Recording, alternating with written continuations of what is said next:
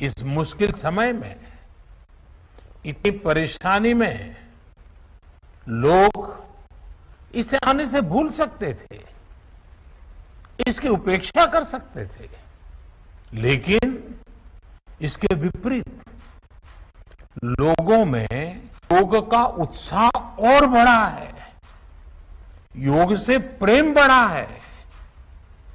पिछले डेढ़ सालों में दुनिया के कोने कोने में लाखों नए योग साधक बने हैं। योग का जो पहला पर्याय संयम और अनुशासन को कहा गया है, सब उसे अपने जीवन में उतारने का प्रयास भी कर रहे हैं। साथियों जब कोरोना के अदृश्य में संयम और अनुशासन को कहा गया है, सब उसे अपने जीवन में उतारने का प्रयास भी कर रहे हैं। साथियों, जब कोरोना के अदृश्य में और इस अदृश्य वायरस ने दुनिया में जब दस्तक दी थी, तब कोई भी देश साधनों से, सामर्थ्य से और मानसिक अवस्था इसके लिए तैयार नहीं था। अभी ने देखा है कि ऐसे कठिन समय योग आत्मबल का बड़ा माध्यम बना। योग ने लोग ये भरोसा बढ़ाया कि हम इस बीमारी से लड़ सकते हैं। मैं फ्रंटलाइन वॉरियर्स से डॉक्टर से बात करता हूँ। तो मुझे बताते हैं कि कोरोना के खिलाफ लड़ाई में उन्होंने योग को भी अपना सुरक्षा कवच बनाया। डॉक्टरों ने योग से खुद को भी मज़बूत और अपने मरीजों को जल्दी स्व करने में इसका उपयोग भी किया। और आज अस्पतालों से ऐसी कितनी तस्वीरें आती हैं जहाँ डॉक्टर्स नर्सेस मरीज़ को योग सिखा रहे हैं। तो कहीं मरीज़ अपना अनुभव जा कर रहे हैं।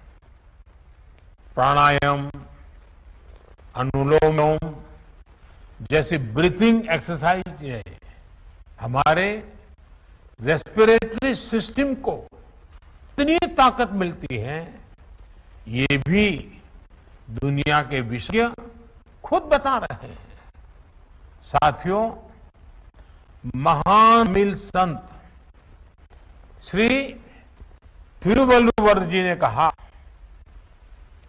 नोई नाड़ी नाड़ी हदु तनिकुम वायनाड़ी। वाय पच्चयल। अर्थात, अगर कोई बीमारी है तो उसे डायग्नाइज करो। उसकी जड़ तक जाओ। बीमारी की वजह क्या है, ये पता करो। फिर उसका इलाज सुनिश्चित करो। योग यही रास्ता दिखाता है। आज मेडिकल साइंस भी उपचार के साथ साथ हीलिंग पर भी उतना ही बल देता है और योग हीलिंग प्रोसेस उपकारक है। मुझे संतोष है कि आज योग के इस पहलू पर दुनिया भर के विशेषज्ञ अनेक प्रकार के साइंटिफिक भी कर रहे हैं, उस पर काम कर रहे हैं। साथियों को काल में योग से हमारे शरीर को होने वाले फायदों, हमारी इम्यूनिटी पर पड़ने वाले सकारात्मक प्रभावों पर कई स्टडीज़ हो रही है। कल हम देखते हैं कई स्कूलों में ऑनलाइन क्लासेस की शुरुआत में 15 मिनट बच्चों को योग प्राणायाम कराया जा रहा है। ये कोरोना से मुकाबले के लिए भी बच्चों की शारीरिक रूप में तैयारी कर रहा है। साथियों, भारत के ऋषियों ने हमें सिखाया है, व्यायामात लभते स्वास्थ्य दीर्घ आयुषम बलम सुखम, आरोग्यम परमम भाग्यम, सुखम सर्वार्थ साधनम। अर्थात योग व्यायाम से हमें अच्छा स्वास्थ्य मिलता है, सामर्थ्य मिलता है और लंबा सुखी जीवन मिलता है। हमारे लिए स्वास्थ्य ही सब बड़ा भाग्य है और अच्छा स्वास्थ्य ही सभी सफलताओं का माध्यम है। भारत के ऋषियों ने भारत ने जब भी स्वास्थ्य की बात की है तो इसका मतलब केवल करते हैं, ध्यान करते हैं, दूसरी यौगिक क्रियाते हैं तो हम अपनी अंतर चेतना को अनुभव करते हैं। योग से हमें ये अनुभव होता है कि हमारी विचार शक्ति हमारा आंतरिक सामर्थ्य इतना ज़्यादा है कि दुनिया की कोई परेशानी, कोई भी निविटी हमें तोड़ नहीं सकती। योग हमें स्ट्रेस से स्ट्रेंथ की ओर और नेगेटिविटी से क्रिएटिविटी का रास्ता दिखाए। योग हमें अवसाद से उमंग और प्रमाद से प्रसाद तक ले जाता है।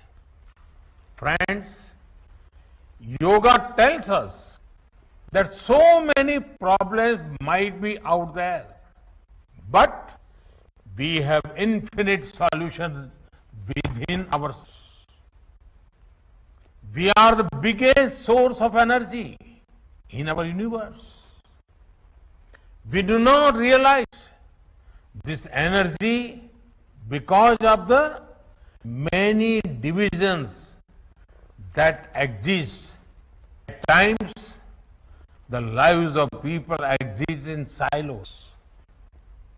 These divisions reflect in moral personality as well. The shift from silo to union is yoga. A proven way to experience a realization of oneness is yoga. I am reminded of the words of the great Gurudev Tagore said, and I quote, the meaning of our life is not to be found in its separateness from God and others, but in the ceaseless realization of yoga of union. Unquote. The mantra of Vasudhaiv Kutumbakam, which India has followed since ages, is now finding global acceptance. We all are praying for each other's being.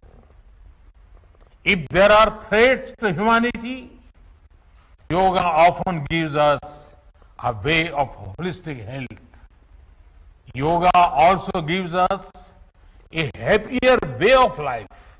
I'm sure yoga will continue playing its preventive as well as positive role in care of masses.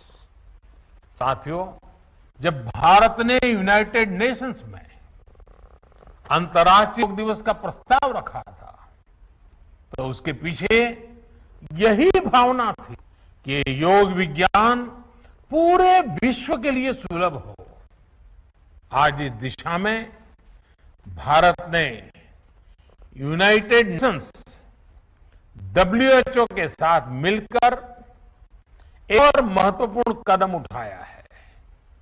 अब विश्व को M yoga M yoga app की शक्ति मिलने जा रही है। इस ऐप में कॉमन योगा प्रोटोकॉल के आधार, योग प्रशिक्षण के कई वीडियोस दुनिया की अलग अलग भाषाओं में उपलब्ध होंगे। ये आधुनिक टेक्नोलॉजी और प्राचीन विज्ञान के फ्यूजन का भी एक बेहतरीन उदाहरण है।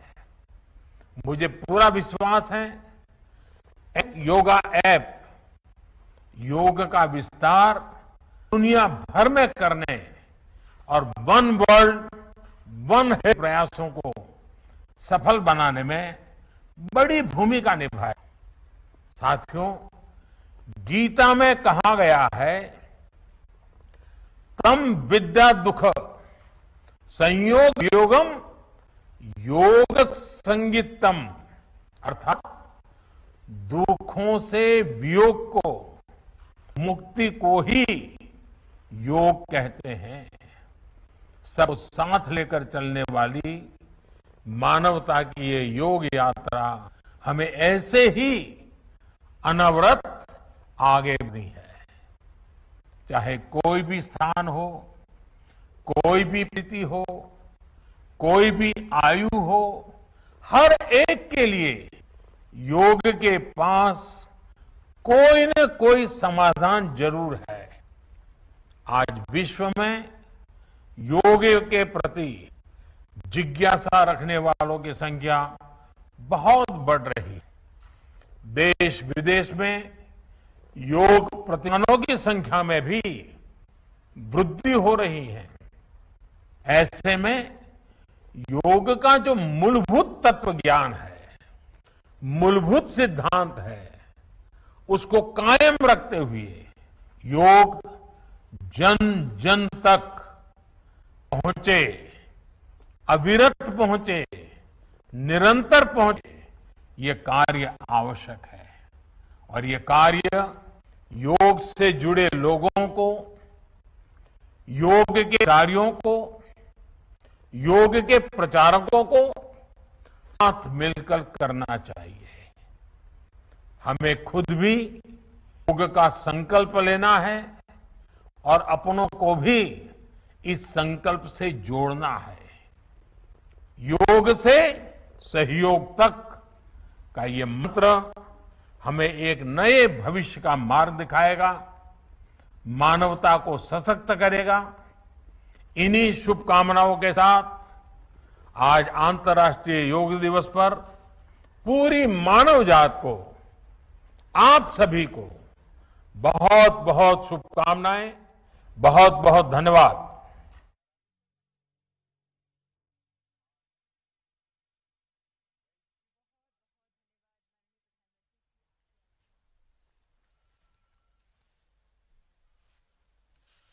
अभी आप प्रधानमंत्री नरेंद्र मोदी को सुन रहे थे, जिन्होंने आज योगा दिवस के मौके पर जनता को संबोधित किया है। आपको बता दें कि आज सातवां अंतर्राष्ट्रीय योगा दिवस 2021 मनाया जा रहा है। इसी कड़ी में आज प्रधानमंत्री नरेंद्र मोदी ने जनता को संबोधित किया, साथ ही योगा से होने वाले फायदों के बारे में भी जानकारी दी। आपको बता दें कि पीएम नरेंद्र मोदी ने अभी योगा दिवस की लोगों को शुभकामनाएँ दी। साथ ही लोगों से अपील की कि वे साल घर में रहकर ही योगा करें और योगा को अपने जीवन का एक मुख्य आधार बनाएँ। आपको बता दें कि आज सातवां योगा दिवस मनाया जा रहा है, जिसकी थीम रखी गई है with the yoga, be at home. आपको बता दें कि आज सातवें योग दिवस के मौके पर प्रधानमंत्री नरेंद्र मोदी ने अभी जनता को संबोधित किया है, जहाँ उन्होंने योग से होने वाले फायदों के बारे में लोगों को अवगत कराया है। साथ ही उन्होंने लोगों से अपील की है कि वे भी घर पर रहकर, सुरक्षित रहकर योगा को अपने जीवन में अपनाएँ। आपको बता दें कि प्रधानमंत्री नरेंद्र मोदी ने अभी अपने संबोधन में योगा और योगा से होने वाले महत्वों के बारे में विस्तार से जानकारी दी। उन्होंने साफ़ तौर पर कहा कि योगा हमारे जीवन में बहुत ही अधिक महत्व रखता है। वह हमें आध्यात्म की ओर ले जाता है। ऐसे में ज़रूरी है कि हम सभी लोग योगा करें। उन्होंने योगा के इतिहास के बारे में भी जानकारी दी, जहाँ उन्होंने बताया कि किस प्रकार से भारत से ही योगा की शुरुआत हुई थी और आज के